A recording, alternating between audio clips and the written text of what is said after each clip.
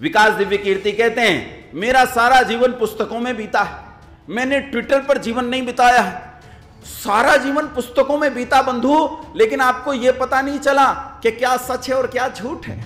आप शंभूक वध जैसी झूठी कथाओं को नाना प्रकार की झूठी किताबों से निकालकर टीवी पर परोस रहे हैं। अरे आप आईएएस क्या बना रहे हैं, जो आईएएस आपके माध्यम से बनेगा? मैं शर्त लगाकर कहता हूँ, ये कौन से दृष्टि नाम के संस्थान ने पैदा किया? ये कौन से दिव्य कीर्ति से पढ़कर आया है? न जाने कितनी दिव्य कीर्ति है इनकी। शायद दिव्य शब्द का अर्थ भी ठीक से नहीं बता पाएँगे। दिव्य कीर्ति शब्द की बात करते जो वामपंथी पाकिस्तान में होगा, वो किसके खिलाफ काम करेगा? मुसलमानों के खिलाफ काम कर, बड़े खुश होते हैं। तारीख फतेह को अपने डिबेट में बिठा दें, बड़े खुश होते हैं। देखो जी, तारीख फतेह मुसलमानों के कितना खिलाफ बोला। अरे तू नागरिकता दे दे। और फिर मैं बताता हूँ कि किसके खिलाफ बोलेगा। इनका तो चरित्र होता है, ये जिस संस्कृति, जिस सभ्यता में रहे, हमेशा उस संस्कृति, उस सभ्यता के खिलाफ काम करते हैं। तस्लीमा नसरीन है, जब तक वो बांग्लादेश में खई रही, वो खूब मुसलमानों के खिलाफ बोली, जब तक उनसे पीड़ित रही, खूब मुसलमानों के खिलाफ रही, आजकल खूब हिंदुओं के खिलाफ बोल रही है। खूब बोल रही है आजकल करवा चौथ के खिलाफ, इसके खिलाफ, उसके खिलाफ खूब बोल रही है। इनका चरित्र होता है, ये जिस सभ्यता संस्कृति में रहते हैं, उसी का विरोध करते हैं। मैं आपसे कह ही रहा हूँ इस बात को ध्यान से सुनना कि इन्होंने उस शिक्षा व्यवस्था को पूरी तरह बर्बाद करके रख दिया जो प्राचीन काल से हमारी चली आ रही शिक्षा व्यवस्था थी। और उस शिक्षा व्यवस्था के बर्बाद होने के बाद एक लॉबी पैदा हुई। आप विकास दिव्य कीर्ति को कोई व्यक्ति मत मानो। यह एक लॉबी है यह एक मानसिकता है यह एक विचारधारा है, जो इस देश की जड़ों में जहर डाल रही है। ये ये नहीं बताएँगे कि राम कौन थे। ये बताएँगे कि राम ने, राम के संबंध में जो कुछ कहा गया, वो क्या था। अब बंधुओं, तनिक मेरी एक बात सुनो। उसने एक प्रमाण महाभारत से दिया रामायण के संबंध में। अब मैं तनिक महाभारत के संबंध में आपसे थोड़ी सी चर्चा करना चाहता हूँ। महाभारत जो ग्रंथ है, इसका जो पहला नाम है, वो जय संहिता है। और जय संहिता साढ़े चार हज़ार श्लोकों से ऋषि व्यास ने लिखी थी। कितने श्लोक? और उनके जीते जी, उनके शिष्यों ने साढ़े पाँच हज़ार श्लोक इसमें और मिला दिए। टोटल कितने बन गए? दस हज़ार। अगर मैं यह मान लूँ कि ऋषि व्यास ने उन साढ़े पाँच हज़ार श्लोकों को मान्यता दे दी होगी तो मूल ग्रंथ जो है वो कितने का हो गया? जब ये साढ़े चार हज़ार श्लोकों का था तो इसका नाम था जय संहिता। जब इसमें साढ़े पाँच हज़ार और मिला दिए गए, दस हज़ार श्लोकों का एक ग्रंथ बन गया तो इसका नाम बन गया भारत। और आज इसमें डेढ़ लाख श्लोक पाए जाते हैं, इसीलिए इसे कहते हैं महाभारत। अरे भैया, मूल तो केवल दस हज़ार हैं, और एक लाख चालीस हज़ार क्या है? मिलावट है। वो जो शोध करता है, जो लल्लन टोप के उस न्यूज़ में, उस वीडियो में इतनी सारी किताबें लेकर बैठा, क्या उसने कभी यह शोध किया? कि इसमें मिलावट कितनी है? क्या उसने ये शोध किया? प्रगतिशीलता, इसे भी कहते हैं कि हम ये विचार करें कि कितना शुद्ध है, कितना अशुद्ध है, इसका भी नाम प्रगतिशीलता है। बात करता है कि तुलसीदास एक प्रगतिशील कवि थे। कितने प्रगतिशील कवि थे तुलसीदास? देखो, तुलसीदास उच्च कोटि के कवि थे, मैं भी स्वीकार करता हूँ। मना नहीं करता हूँ। क्या बढ़िया कविता उन्होंने लिखी है आजान बुझ शरचाप दर संग्राम जित खर दूषणम कंदर पगुणित अमित छवि नव नील नीरद सुंदरम पटपीत मानहु तड़ित छवि। और आगे भूल गया, याद नहीं रही। हाँ, कितनी बढ़िया कविता उन्होंने लिखी है। उनके काव्य की मैं प्रशंसा करता हूँ, प्रशस्ति पढ़ता हूँ कि कवि बहुत अच्छे हैं तुलसीदास। लेकिन सुनो, राम दो हैं। एक राम तुलसी के हैं और एक राम वाल्मीकि के हैं। दोनों राम में अंतर है। तुलसीदास के राम भगवान से एक सामान्य मनुष्य जो सुखों और दुखों में खेलता है, वहाँ तक आने की यात्रा है।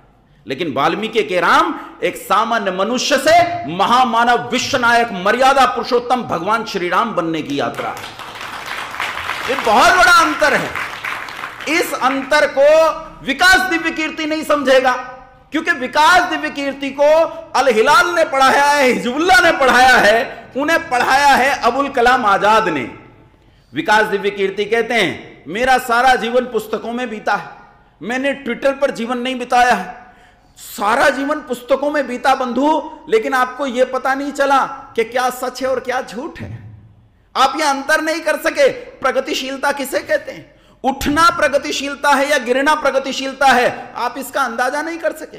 आप शंभूक वध जैसी झूठी कथाओं को नाना प्रकार की झूठी किताबों से निकालकर टीवी पर परोस रहे हैं। अरे आप आईएएस क्या बना रहे हैं, जो आईएएस आपके माध्यम से बनेगा? मैं शर्त लगाकर कहता हूँ अच्छा मुझे एक बात बताओ। इस देश में इतने आईएएस आईपीएस अधिकारी हैं, इतने डीएम एसडीएम घूमते हैं, क्या ये सारे बुद्धिमान हैं? हैं? अगर ये बुद्धिमान होते तो क्या इनकी नाक के नीचे इतना भ्रष्टाचार होता? एक न्यायाधीश बैठा होता है। न्यायाधीश न्याय कर रहा है, और उसकी बगल में बैठा हुआ एक आदमी अगली तारीख लगाने का पचास रुपया लेता है। पचास रुपया लेता है। ये कौन सी शिक्षा से पैदा हुआ है भाई? ये कौन सी शिक्षा से पैदा हुआ? ये कौन से दृष्टि नाम के संस्थान ने पैदा किया? ये कौन से दिव्य कीर्ति से पढ़कर आया है? न जाने कितनी दिव्य कीर्ति है इनकी। शायद दिव्य शब्द का अर्थ भी ठीक से नहीं बता पाएँगे। दिव्य कीर्ति शब्द की बात करते। जो श्लोक इन्होंने उस न्यूज़ चैनल पर पढ़ा, उस श्लोक में छह गलतियाँ हैं पढ़ने में ही। आईएस तैयार कर रहे हैं? उस श्लोक को पढ़ते हुए इन्होंने छह गलतियाँ की हैं। हाँ, ये कह सकते हैं कि मैंने संस्कृत नहीं पढ़ी है, इसलिए मुझसे गलतियाँ हुई हैं। डॉक्टर कल्पना ने संस्कृत पढ़ी है, इसलिए वो गलतियाँ नहीं कर रही हैं। लेकिन मैं ये कहता हूँ, भैया, यही तो मैं कह रहा हूँ कि तूने संस्कृत नहीं पढ़ी है। तूने संस्कृत नहीं पढ़ी है, इसलिए संस्कृत साहित्य पर टिप्पणी करने की तेरी औकात है ही नहीं। है ही नहीं, तू क्या टिप्पणी करेगा? तू टिप्पणी नहीं कर सकता। एक आश्चर्यजनक बात है, अगर आप सावधानी से देखें। एक व्यक्ति को समझना है तो केवल उसकी बात नहीं सुननी है। आपको उसका जीवन, उसका आचरण, उसके हाव भाव व्यवहार भी देखने पड़ते हैं। ईमानदारी से बताओ, जब हम किसी से बात करते हैं तो उसकी शारीरिक भाषा भी उन भावों को हम तक पहुँचाने में सहायक होती है या नहीं? होती है ना? अब विकास दिव्य कीर्ति वहाँ जब ये बात कह रहा है तो ऐसे जैसे उसके मन में लड्डू फूट रहे हो, बड़े मंद मंद हँसते हुए वो कहता है कि मेरी जीव चल जाएगी, मेरे मुँह में अंगारे आ जाएँगे। कहना नहीं चाहता हूँ, लेकिन कहना, क्यों कहना पड़ रहा है तुझे? क्यों कहना पड़ रहा है? अच्छा अगर यह बात तुझे छात्रों को पढ़ानी भी थी तो इतनी सी वीडियो को जारी करने का क्या उद्देश्य था? बोलो। क्या इस वीडियो को अगर आप तुझे प्रगतिशीलता ही पढ़ानी थी ये बताओ, इस वीडियो को जारी करने से रोका जा सकता था या नहीं? क्यों जारी किया गया? अरे, उसके पीछे एजेंडा है भैया, और एजेंडा आज का नहीं 1400 साल पुराना एजेंडा है 1400 साल पुराना। ये एजेंडा आज का नहीं है। ये एजेंडा वो है, जब पहली बार इस देश पर एक आदमी ने हमला किया था। क्या नाम था उसका? पहला हमला। बोलो, किसने किया था? बोलो। मोहम्मद बिन? ना ना ना ना। नहीं नहीं।